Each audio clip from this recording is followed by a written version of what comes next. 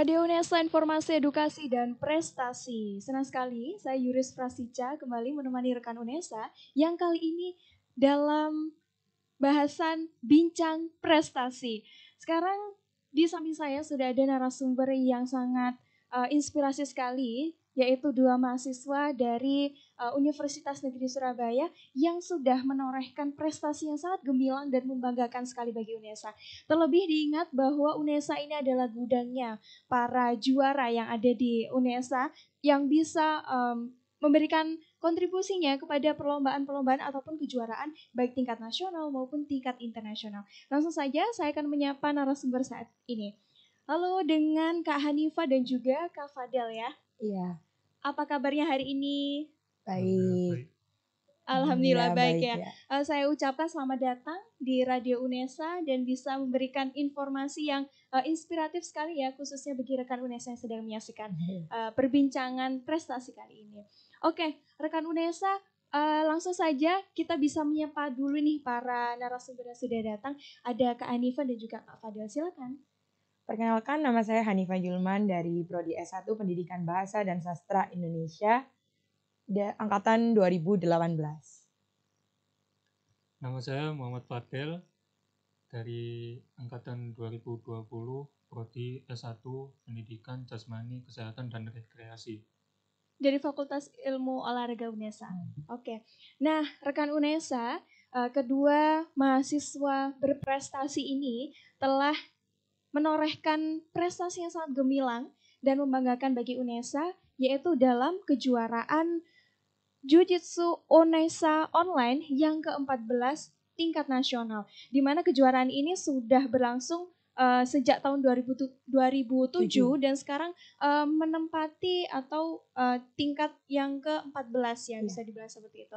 Nah, untuk Kak Fadel dan juga Kak Hanifah bisa diceritakan nih bagaimana nih prosesnya kemudian uh, persiapannya ketika mengikuti kejuaraan Jujitsu Unesa Online ini. Kebetulan saat itu tuh kami juga sebagai panitia. Seharusnya tuh tahun tahun ini kita itu tidak turun sebagai atlet. Kalau tahun-tahun sebelumnya itu kan kita offline jadi atlet sama panitia juga. Tapi berhubung tahun ini online sistemnya mungkin lebih rumit Oke. dan itu untuk pertama kalinya kita membuatkan kejuaraan online. Jadi kita memutuskan kesepakatan dengan teman-teman kalau panitia tidak turun. Tapi tiba-tiba dapat perintah dari Bapak Warik 3, dari Pak Agus, langsung, kenapa kok nggak turun? Akhirnya kita dalam tiga hari, dalam dua hari, dua hari kita langsung buat video, buat koreo, buat video untuk ikut lomba demo dan persiapannya tuh hari Sabtu, Minggu, dan hari Seninnya itu kita take video sama bareng teman-teman Mas Unesa. Dan langsung jadi hari itu juga. Oke, dari uh, persiapannya cukup singkat sekali ya Iya. untuk mengikuti kejuaraan ini. Nah, kalau bisa dibilang ini kejuaraan Jujitsu Unesa Online yang ke-14 ini ada tiga kategori, benar? Iya, Yang benar. pertama ada kategori artikel, penulis kepenulisan artikel, yang Iya. kedua yaitu lomba demo ini, dan yang ketiga itu ada pertandingan sikap dasar dan kata. Oke, nah bisa dijelaskan sedikit nih eh, apa saja itu eh, lomba-lombanya itu? Pertandingan artikel eh, jadi kepenulisan kepenulisan artikel itu kita nanti kita yang dari panitia menentukan temanya. Oke. Jadi kita temanya itu jujitsu, penerapan jujitsu dalam kehidupan sehari-hari. Dan lomba demo itu kreatif mungkin. Kalau pertandingan sikap dasar dan kata kita ada jadi di jujitsu itu ada sikap dasar dan kata dan setiap tingkatnya itu punya masing-masing levelnya Iya, itu. levelnya masing-masing. Jadi itu yang dipertandingkan. Jadi regu-regu ada dari regu-regu itu mengirimkan video dia lagi memperagakan sikap per- gerakan sikap dasar itu nanti dipertandingkan dengan tim yang lain seperti itu dibuat sistem gugur. Jadi tetap pakai bagan. Hmm, oke Hmm. seperti itu ya. Kalau dari Kak Fadel sendiri nih, bagaimana sih eh, lomba demo kejuaraan jujitsu ini yang kalian bawakan dan Hmm. bisa membawa eh, juara gitu? Persiapannya tuh itu susah sih. Apalagi dadak juga ya. Hmm, Di terus dari kepana- kepanitiaannya juga dadak juga diajak sama Kak Anifa Oke, tapi meskipun dengan waktu yang sempit, Sempit. tapi bisa uh, menunjukkan bahwa Iya. UNESA ini juga bisa memberikan juara kayak gitu ya. Iya. Nah, kalau dari segi uh, lomba demonya itu kalian memperagakannya itu bagaimana atau uh, memang itu uh, lomba demonya itu untuk kejuaraan jujitsu yang seperti apa gitu? Jadi kita kalau dari tim Jujitsu Unesa itu kita terinspirasi sama MV-nya itu Dynamite. Mm-mm. Kita kan cover pakai lagunya, Lagunya, Dynamite. mm. Ya, Dynamite. Jadi kita itu buat ganti-ganti tempatnya. Jadi kita itu judulnya Explore Unesa. Mm. Ya, kita buat teman-teman ini dengan waktu sesingkat ini nggak mungkin kalau gerakannya dari awal sampai akhir kita samakan karena nanti kita hafalannya juga bingung. Akhirnya kita bagi beberapa part. Part satu ada teman-teman kita dari tuh Nando dari elektro teknik elektro itu dibagi. Jadi kita kasih kebebasan sama anak-anak sama teman-teman dari tim kita buat buat gerakan itu yang sesuai dengan style mereka. Jadi mereka nyaman buat meragakan gerakan itu dan hasilnya juga enak dilihat jadinya. Gitu. Jadi dibagi per part. Hmm, Oke, berarti itu uh, gerakan-gerakan yang didemokan itu Iya. bisa dibilang uh, gerakan-gerakan uh, dasar kah dalam uh, keolahragaan jujitsu begitu? Iya, ada yang dasar, ada yang diimprove. Mungkin dari Mas Fadel nih, partnya Mas Fadel banyak improve-nya. Hmm, Yang Oke, boleh barangkali Kak Fadil bisa bercerita sedikit nih tentang bagaimana demo lombanya itu. ya susah sih terus apa buat gerakannya itu loh Heeh, susah Oke. terus baru kan saya kan biasanya lomba itu yang langsung tatap apa yang langsung mukul ya, kontak Aduh. kontak badan. Oke, kontak oke. badan gitu ya ini demo jadinya nggak terbiasa gitu Adaptasi. Oke, oke. adaptasi adaptasinya ya seperti itu Oke. Meskipun Kak Fadel uh, agak malu-malu gitu ya, tapi ternyata Hmm. dia kalau di jujitsu uh, langsung ngambil nomor yang memang uh, fighting ya, bisa dibilang Iya. fighting ya. Oke.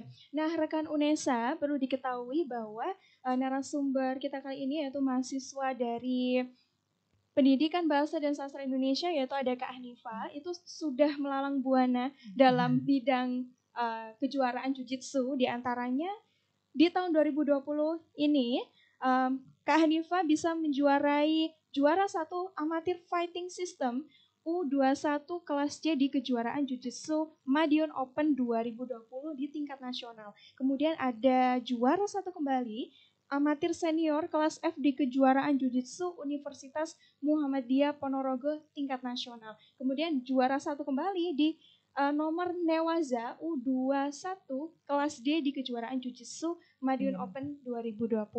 Nah, untuk Kak Fadil sendiri juga tidak kalah berprestasinya juga dari Kak Hanifa. Um, salah satunya yaitu kejuaraan di Kajuo Open Unesa juga Iya. ya, yang ketiga yang ke-13 yaitu menjuarai juara dua kategori fighting system dan newaza. Nah, dari kejuaraan-kejuaraan yang sudah dilaksanakan, yang sudah ditempuh, pasti nih apa sih motivasi terbesar kalian untuk mengikuti kejuaraan kejuaraan-kejuaraan eh, yang kalian laksanakan gitu? Kalau saya sih motivasinya itu pasti pengen pulang itu bawa prestasi, bisa bangga. Terus bisa masuk official UNESA Oke. kan jarang banget ada yang bisa masuk ke official UNESA. Jadi kita seneng banget bisa diucapin kayak selamat dari official UNESA. Terus senengnya kalau berprestasi itu kita jadi bisa daftar beasiswa.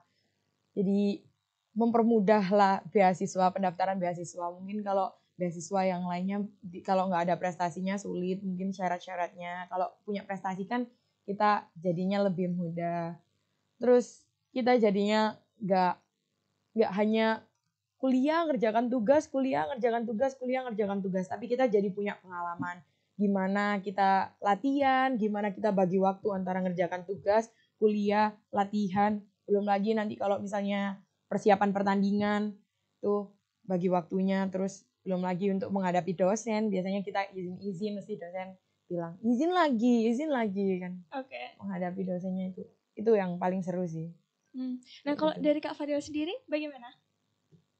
kalau motivasi sendiri itu ingin masuk ke atlet nasional kayak yang senior senior di atas Oke, jadi motivasi terbesarnya ingin bercita-cita sebagai eh, menjadi atlet nasional.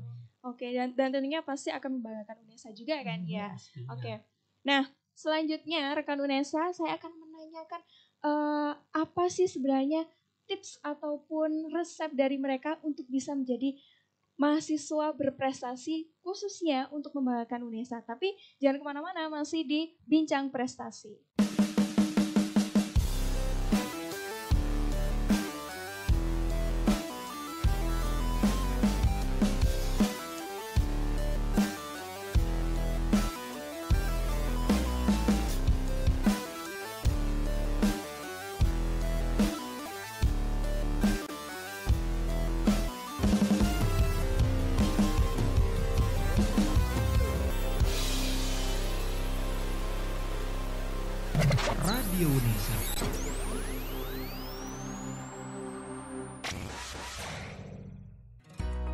Unesa Informasi Edukasi dan Prestasi hadir sejak 13 Februari 2020 bertepatan dengan Hari Radio Sedunia. Radio Unesa memenuhi kebutuhan informasi seluruh sivitas akademika Unesa dan masyarakat. Melalui informasi edukasi hingga hiburan disajikan selama 24 jam non-stop. Rekan Unesa bisa mendengarkan via streaming di radiounesa.com atau www.unesa.ac.id. Secara audiovisual juga bisa disimak di kanal YouTube Radio Unesa. Langsung saja download aplikasi Radio Unesa di Play Store dan jadikan Radio Unesa teman beraktivitas Anda. Inilah Radio Unesa, informasi edukasi dan prestasi.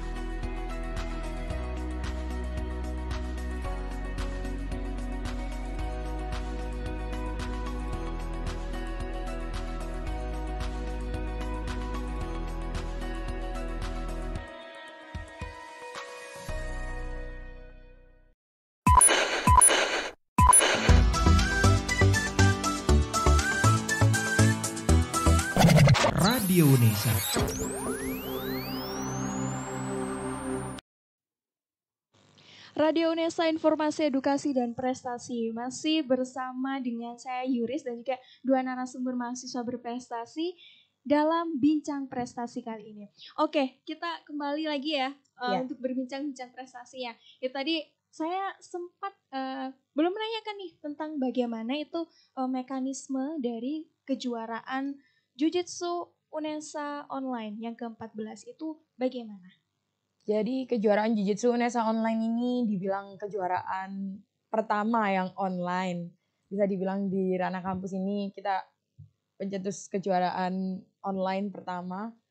Dan sistemnya itu nanti kita itu dari peserta mengisi formulir. Di dalam formulir itu nanti ada syarat-syarat yang harus dilengkapi. Dan video yang didaftarkan itu harus di-upload, diunggah di formnya tadi. Setelah dari form tersebut, nanti panitia akan memberi frame untuk branding kejuaraan dan diunggah di akun sosial medianya panitia yang nantinya akan like, akan dinilai like-nya, like dari Instagram dan YouTube. Lalu setelah itu ada penilaian wasit dan juri. Jadi penjurian itu ada penjurian satu hari, selama satu hari itu penjurian videonya ditayangkan nanti juri akan menilai show system sama teknik sistem. Jadi penampilan dan tekniknya dinilai. Nanti melalui Zoom jadi. Jadi tetap dalam protokol kesehatan kita mengirim videonya ke wasit juri, wasit jurinya reaction dengan papan skor. Seperti itu. Oke, jadi secara teknisnya seperti Ya. itu. Nah, dari segi sasarannya yang ditujukan itu eh, untuk umumkah dan hanya untuk eh, para namanya atlet jujitsu saja atau dari umum luarkah itu juga bisa gabung? ya kita yang terbuka untuk umum adalah lomba kepenulisan artikel, tapi untuk lomba sikap dasar dan kata, lomba demo itu kita terbuka untuk hanya untuk IJI. Jadi Institut Jiu-Jitsu Indonesia hanya IJI yang boleh ikut. Seperti itu. Oke, nah em, kalau dari segi jurinya nih, siapa Ya. saja juri yang em, menilai kejuaraan ini? juri yang menilai banyak dari juri dari Surabaya ada sidoarjo ada ad- totalnya ada enam juri ya enam juri enam juri yang melakukan penilaian Oke, itu. jadi jurinya memang profesional di iya di dunia jujitsu juga ataupun Iya. kepenulisan itu tadi ya di Iya. kategori kejuaraan jujitsu open ini tadi. Iya. Oke, nah selanjutnya nih untuk Kak Hanifa dan juga Kak Fadel itu tadi saya juga sempat singgung mengenai eh, apa sih tips ataupun em, seperti kekuatan terbesar untuk mengikuti setiap kejuaraan-kejuaraan yang kayak kalian lakukan gitu. Apa sih yang buat benar-benar oh ya Hmm. aku ini harus eh, mengikuti kejuaraan seperti ini seperti ini atau apa? Jadi kalau saya sendiri goalnya itu bukan bukan harus juara dapat medali. Itu bonus. Tapi gimana kita melakukan prosesnya itu sebagai juara? Jadi kita menempatkan diri sebagai juara. Jadi juara itu nggak hanya mendapatkan medali nggak hanya itu tapi kita sudah diajarkan menjadi juara itu dengan bahagia itu sudah menjadi juara. Jadi jadi kalau kita melakukan prosesnya itu nggak males terus kita bisa latihan bareng sama teman-teman itu kayak kita nabung buat jadi juara yang besar Oke. Kalau untuk Kak Fadel sendiri bagaimana? Kalau saya pastinya punya target itu jadi atlet nasional itu pastinya nggak gampang terus harus latihan ekstra-ekstra lebih keras lagi Mhm. nembus nembus kabupaten Jawa Timur terus nasional, Nasional. bisa Dan terus bisa go Internasional. Oke, Amin. amin, amin, Hmm. amin, amin. Nah, terus nih ya, eh, dari Kak Hanifa sendiri itu berkecimpung di dunia keolahragaan jujitsu itu dari kapan sih kok bisa juara-juara yang bisa diraih tuh bisa dibilang sangat banyak sekali dan juga sangat menginspirasi sekali bagi rekan Unesa yang eh, ingin menggeluti bidang yang sama gitu. Jadi mulai latihan mau mau gabung UKM itu waktu jadi maba kebetulan kakak sepupu saya itu juga jujitsu jadi Oke. diajak dipaksa lebih tepatnya dipaksa buat ikut. Terus akhirnya mau nggak mau ikut. Awal semester 1 waktu 2018 itu semester 1 itu masih belum ada kejuaraan jadi masih latihan hanya sekedar latihan rutin. Terus tiba-tiba dapat undangan di Universitas Sukoharjo Mm-mm. Univet Bantara Sukoharjo itu pertama kalinya tanding dan itu kebetulan bareng sama UTS ya. Jadi pertama kali tanding bareng sama UTS. Itu waktu di Universitas Bantara Sukoharjo itu baru tahun 2019 baru turun kejuaraan dan bulan masih ingat banget bulan Februari tanggal 23 24 kebetulan itu dan alhamdulillahnya pulang bisa bawa medali emas. Itu latihannya benar-benar kalau parah latihannya. Tapi ter semuanya terbayar. Karena kan pertama kali dulunya nggak pernah ikut olahraga bahkan lari aja udah kayak ya ampun ngap banget. Terus Oke. harus harus latihan yang ekstra karena targetnya juga harus dicapai kan untuk menja- mencapai juara besar harus mencapai juara-juara kecil itu. Jadi kita harus ekstra melawan diri sendiri buat melawan males buat latihan melawan apa aja. Kayak semuanya belajar punya waktu belajar malam pulang kuliah teman-teman belajar kita berangkat latihan nanti pulang baru belajar. Tuh Oke. jadi itu. Jadi bisa dibilang ada komitmen dan Iya. juga konsistensi ya Iya. terhadap eh, setiap kali kejuaraan ataupun eh, latihan-latihan yang dilakukan Iya. ya. Kalau gitu. Oke, itu tips dari Kak Hanifa. Iya. Kalau dari Kak Fadilnya bagaimana? Jadi aku ikut jujitsu itu dari kelas 8. Kelas 8 SMP. Nah, itu ikut jujitsu aslinya cuma coba-coba. Oke. terus karena waktu itu pingin pingin keluar gara-gara ya latihannya terlalu keras gitu. Hmm. gara-gara pelatih saya bilang ada turnamen jujitsu di Trimurti jadinya pengen pengen nyoba. Tapi katanya pelatihku itu nggak boleh ikut karena masih sabuk putih Oke. Nah, di situ posisinya saya nggak nyerah gitu.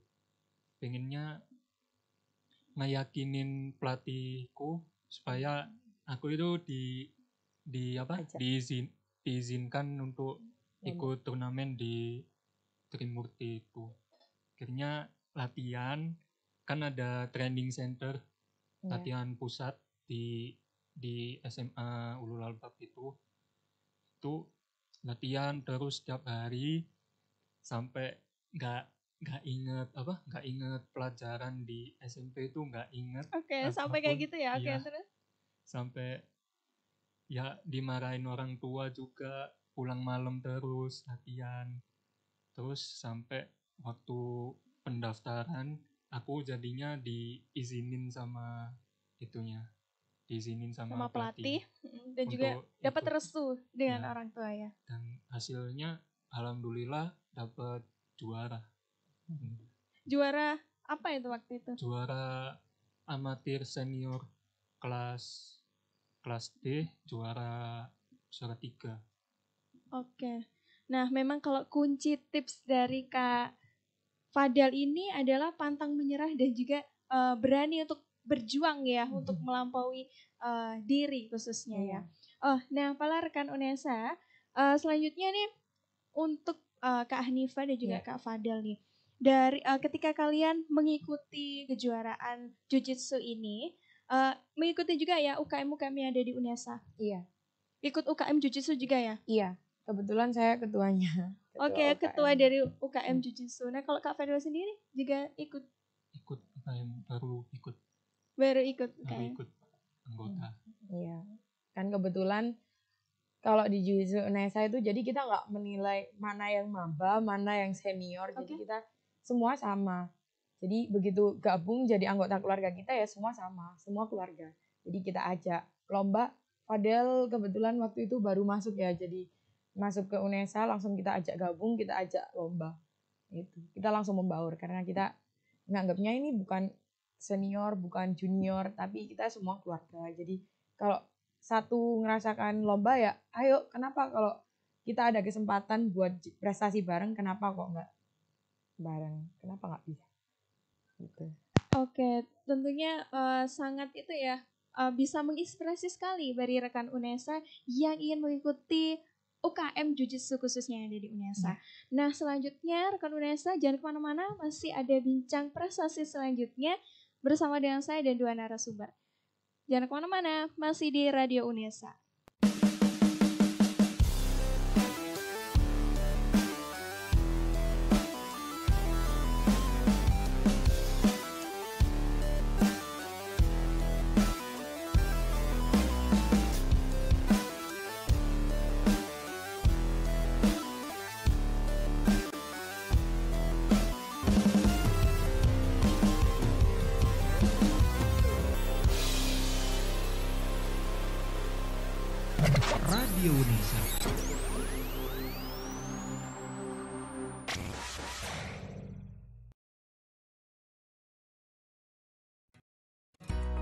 Nesa Informasi Edukasi dan Prestasi hadir sejak 13 Februari 2020 bertepatan dengan Hari Radio Sedunia. Radio Unesa memenuhi kebutuhan informasi seluruh sivitas akademika Unesa dan masyarakat. Melalui informasi edukasi hingga hiburan disajikan selama 24 jam non-stop. Rekan Unesa bisa mendengarkan via streaming di radiounesa.com atau www.unesa.ac.id. Secara audiovisual juga bisa disimak di kanal YouTube Radio Unesa. Langsung saja download aplikasi Radio Unesa di Play Store dan jadikan Radio Unesa teman beraktivitas Anda. Inilah Radio Unesa, informasi edukasi dan prestasi.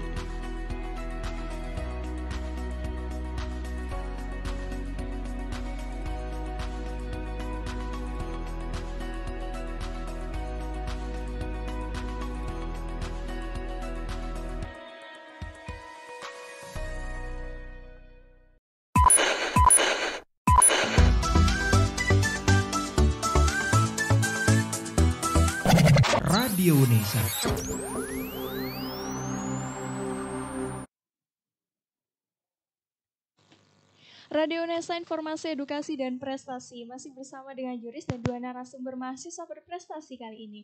Nah, oke, Kak Hanifa dan juga Kak Fadal, kita balik bincang-bincang lagi ya. Iya. Nah, dari sekian banyak kejuaraan yang dilakukan, perjuangannya itu bagaimana? Eh, ada nggak? Kalau dari Kak Hanifa ini kan dari S1 Pendidikan Bahasa dan Sastra Indonesia. Iya. Kemudian Kak Fadal nih eh, dari Fakultas Ilmu Olahraga juga. Ada nggak capaian-capaian yang ingin kalian eh, gapai nantinya atau selanjutnya gitu? Kalau saya sih pengennya lulus dari lulus S1 ini mau lanjutin S2. Terus dulu sih pernah pengen jadi penyiar radio, terus pernah pengen jadi dosen, tapi Oke. untuk selam, sementara ini pengennya tuh pengen jadi mapdi juga buat teman-teman. Jadi pengen kerja yang kayak bisa berkecimpung bareng teman-teman, tetap tetap bisa berkegiatan sama teman-teman di UKM. Karena kan kalau udah tahu serunya gimana jadi anak UKM Oke. jadinya kayak susah gitu buat lepasin kayak gitu jadi pengen kerja yang tetap bisa bareng sama teman-teman Dan eh, masih melanjutkan Iya. kejuaraan-kejuaraan jujitsu lainnya ya, meskipun Iya. eh, dari studinya itu sangat jauh sekali Iya, ya. Kalau sangat, sangat jauh sangat nyimpang banget oke oke. Nah kalau dari Kak Fadil sendiri bagaimana? Kalau saya cita-citanya pengen jadi Atlet nasional atlet tadi ya. nasional Mm-mm. tadi terus pengen jadi guru Mm-mm. terus pengen nyoba jadi abdi negara juga Oke. jadi apa polisi Oke, amin amin amin semoga bisa tercapai ya. Nah, Hmm. untuk eh, dalam waktu dekat ini nih Kak Hanifa dan juga Kak Fadel, ada nggak em, target yang akan dicapai melalui kejuaraan-kejuaraan jujitsu lainnya? mungkin kalau ada kejuaraan offline ya kita kangen banget kejuaraan offline yang harus kontak badan tuh Oke. karena kejuaraan yang online itu mungkin agak kurang seru Oke. karena kalau kita kontak badan itu kayak ada yang lebih lebih seru aja kalau kontak badan walaupun nanti kita sakit-sakit atau gimana tapi tetap enak aja karena kita juga kalau misalnya online kan kita hanya berlatih jangka waktunya tidak panjang tapi kita bisa buat video tapi kalau misalnya kita offline kita benar-benar di- diproseskan gimana jadi atlet yang siap untuk turun di atlet arena pertandingan gitu Oke, jadi memang eh, euforinya Euforianya euforianya tuh beda. sekali ya Iya, ketika beda. Turun lapangan langsung Iya. dengan eh, di balik layar ataupun sekarang online seperti Iya. itu ya. Oke oke. Eh, ada nggak eh, pengalaman yang paling membuat kalian berkesan ketika mengikuti kejuaraan-kejuaraan jujitsu itu? Yang sangat-sangat tidak terlupakan, memorable. ada waktu apa seleksi si game Oke. kemarin itu sangat nggak bisa dilupain sih itu apa karena ketemu banyak senior senior jujitsu yang lain yang dulu itu nggak pernah ketemu sama sekali. Oke. akhirnya ketemu. Terus cara mainnya juga beda. Ya kaget tapi itu jadi pelajaran juga gitu. Jadi bisa mengambil pengalaman-pengalaman ya yang pastinya eh, nggak bisa terbayarkan Mhm. ya. Karena memang ada sangkut pautnya dengan senior seperti itu ya. Iya. Oke. meskipun nggak lolos aja sih Tapi eh, tetap semangat ya, selalu Iya. pengen eh, mencapai target-target yang tinggi. Kalau Kak Hanifah sendiri, apa sih eh, pengalaman yang paling memorable dalam hidup Kak Hanifah selama mengikuti kejuaraan Jiu-Jitsu? pertandingan yang paling terakhir ya sebelum Hamin dua kita dapat surat lockdown. Oh sebenarnya itu hari Jumat. Pertandingannya itu hari Sabtu, Minggu, hari Jumatnya itu sudah ada surat dari Dinas Kesehatan bahwa acara-acara yang setelah ini akan dilaksanakan lebih baik ditunda. Dan kebetulan acaranya hari Sabtu dan tetap diadakan, diselenggarakan karena semua sudah tersebar dan semua sudah siap mau tidak mau jadi akhirnya kita ikut pertandingan dengan wasit dan jurinya itu pakai steril glove itu pakai peralatan-peralatan udah standar kesehatan semua. Terus kita juga benar-benar yang masuk arena pertandingan itu benar-benar steril area hanya boleh atlet dan kita ukur suhu dulu pemanasan di dalam seperti itu. Terus dan akhirnya yang bisa berangkat cuma tiga orang dari UNESA. Dan alhamdulillah membuat juara semua. Dua emas satu perak. Alhamdulillah bawa pulang itu. Dan pulangnya ketinggalan bis sih. Itu paling nggak bisa dilupain Oke, Pulangnya Bang. Nah, itu memorable sekali ya Iya. ketika apa namanya ketinggalan bis bisa Iya. dibilang kayak gitu ya. Oke, jadi jadi momen lucu juga sih. Iya. Kalau sekarang diinget-inget lucu, tapi waktu kejadian itu bingung. Nanti pulang mau like apa kayak gitu. Oke, oke, oke. Berarti eh, di balik mahasiswa yang berprestasi ini ya, rekan UNESA, eh, ada segudang banyak sekali cerita-cerita, pengalaman-pengalaman yang eh, sangat memotivasi tentunya bagi mereka sendiri untuk menggapai berbagai kejuaraan-kejuaraan lainnya. Tentunya eh, dalam kejuaraan-kejuaraan yang ingin eh, go internasional Iya. juga ya.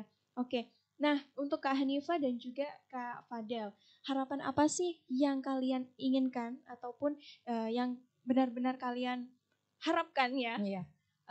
Dari UNESA untuk mendukung setiap prestasi mahasiswanya? Harapan saya sih kepada para mahasiswa sih. Pandemi itu bukan alasan buat kita diem aja di rumah, ngerjakan tugas, kuliah online. Tapi gimana caranya kita keluar dari zona tidak nyaman, Oke. zona yang sangat tidak ma- nyaman, jadi gimana kita berprestasi di tengah pandemi. Walaupun mungkin keluar dari zona yang tidak nyaman itu sulit, tapi kita harus berusaha. Karena nggak ada alasan buat nggak prestasi di era pandemi kayak gini. Justru akan lebih memudahkan kita. Oke. Untuk Kak Fadel, apa sih harapannya yang ingin eh, disampaikan ataupun barangkali untuk para mahasiswa baru yang ingin mengikuti jejak prestasi dari Kak Anifa dan juga Kak Fadel? kurang lebih sama sih terus untuk mahasiswa baru itu apa ya Jangan sungkan buat jangan sungkan bertanya. buat bertanya apa gitu karena kan mencoba. ya mencoba lah pokoknya Oke. Karena setiap hal baru itu pasti ada faedahnya. Hmm. ya benar sekali rekan UNESA. Nah rekan UNESA eh, tentunya bagi para mahasiswa baru ataupun mahasiswa yang sudah ada di UNESA ingin mengikuti jejak dari Kak Hanifa dan juga Kak Fadel yang sudah melalang buana di bidang kejuaraan Jiu-Jitsu tentunya eh, sudah sangat eh, memberikan motivasi terbesar untuk mengikuti setiap kejuaraannya agar eh, nantinya bisa mencapai kejuaraan-kejuaraan lainnya yang eh, lebih tinggi lagi.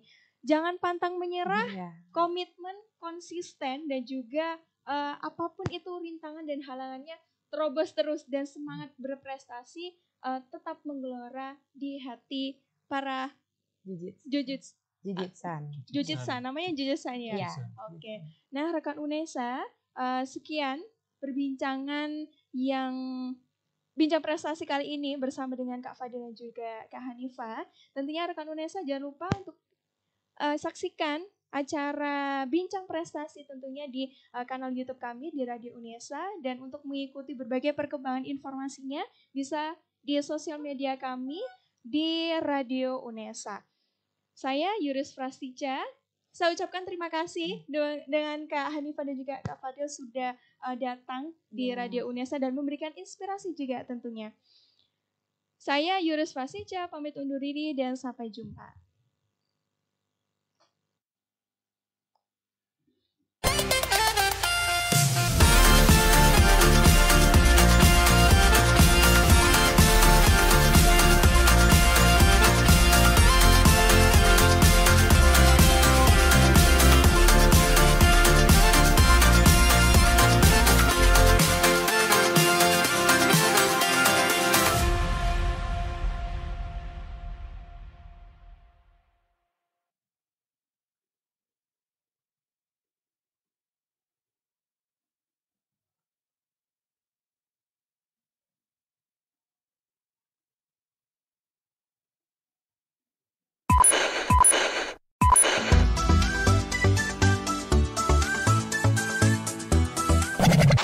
Radio Unesa.